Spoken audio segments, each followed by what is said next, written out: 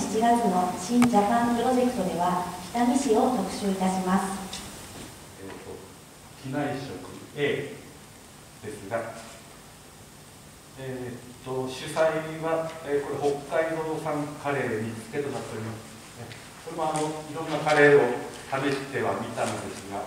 えーまあ、実際にはあの油カレーというカレーこれが一番。えー地元の小豆を使ってそのブランドを立ち上げようということでその時に北見小豆屋というブランドを立ち上げました。その際に、